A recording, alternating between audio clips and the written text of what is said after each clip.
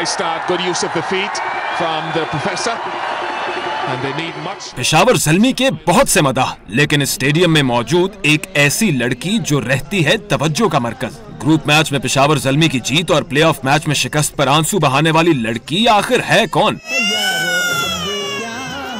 हम आपको बताते हैं, ये हैं नजीबा फैज जो हैं पेशावर जलमी की सफीर भी। लेकिन इतना तारुफ काफ़ी नहीं, नजीबा फैज एक मॉडल, अदाकारा और मेजबान के तौर पर भी जानी जाती हैं। पेशावर से पाकिस्तान टेलीविज़न के लिए भी कई ड्रामे कर चुकी हैं। नजीबा फैज हर मैच में शायकीन से पेशावर जलमी के लिए दुआओं की अपील करती भी नज़र आती हैं। दुआ करें पेशावर जलमी के लिए कि वो आज का मैच जीत जाए। अगर हम जीतते हैं तो हमारे पास फिर दो चांसेस होते सेमीफाइनल में फाइनल जाने के लिए।